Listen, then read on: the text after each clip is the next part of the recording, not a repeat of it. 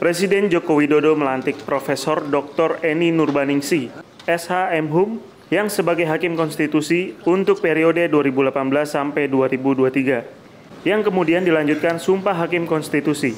Berlangsung di Istana Negara, Jakarta, Senin 13 Agustus 2018. Eni Nurbaningsi diangkat berdasarkan keputusan Presiden nomor 134P tahun 2018 tentang pengangkatan Hakim Konstitusi. Sebelumnya Presiden Joko Widodo memutuskan untuk memilih yang bersangkutan dari tiga nama yang diajukan oleh panitia seleksi Hakim Mahkamah Konstitusi. Eni Nurbaningsi bertugas untuk menggantikan Profesor Dr. Maria Farida Indrati, SHM Hum, selaku Hakim MK perwakilan pemerintah yang masa jabatannya berakhir pada 13 Agustus 2018. Eni Nurbaningsi memperoleh gelar doktornya di Fakultas Hukum Universitas Gajah Mada.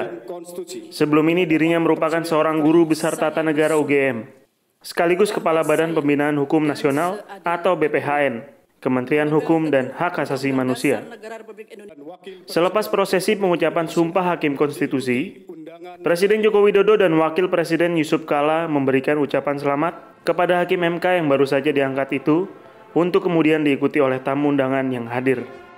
Dan seadil-adilnya, memegang teguh Undang-Undang Dasar Negara Republik Indonesia tahun 1945 dan menjalankan segala peraturan perundang-undangan dengan seluruh-seluruhnya menurut Undang-Undang Dasar Negara Republik Indonesia tahun 1945 serta berbakti kepada nusa dan bangsa. Dari Jakarta, Suci Batrina dan Adi Darwansa Songko, Nusantara TV melaporkan.